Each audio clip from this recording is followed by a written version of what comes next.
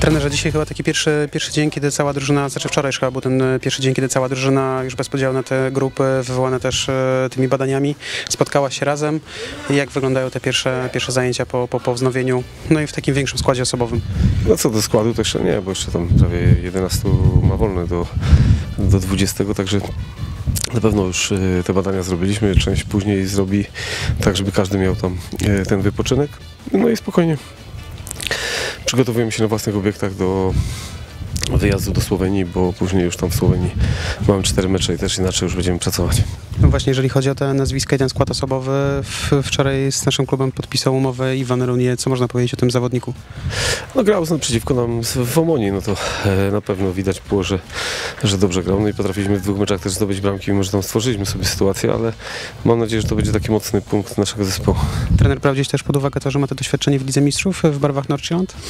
No, ma- no to jest ważne, no, w, w lidze europejskiej grał długo i to jest też istotne i też potrzebujemy kogoś takiego, kto, kto, kto to scementuje, bo gdzieś tam ten blok nasz defensywny był bardzo dziurawy w poprzednim sezonie.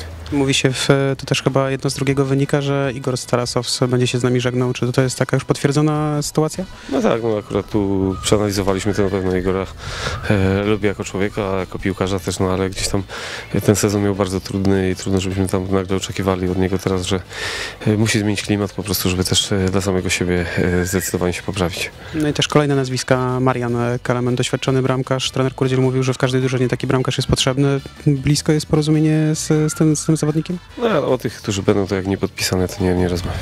A o tych, którzy są teraz aktualnie na testach e, o Sołowieju i Botowi Sze, Szczepaniak Szymańskim? Akurat no zobaczymy, no potrenują z nami do końca tygodnia wtedy ocenimy. Szymański to jest e, Boczny pomoc i Kalemen w tym momencie już ma też tę sprawę kontraktową tam e, z- zakończoną i tutaj tylko zależy od tego, co jest tutaj, a to nie interesuje mnie na razie, czy reszta.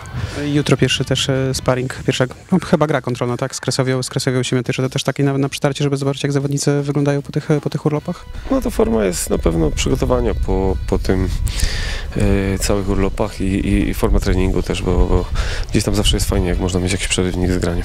I potem e, dwa, dwaj rywale ekstraklasowi, Górnik Łęczna i Korona Gielce, to już będą takie zespoły, na których będzie można coś powiedzieć, jak wygląda kwestia przygotowania na daną, na daną chwilę?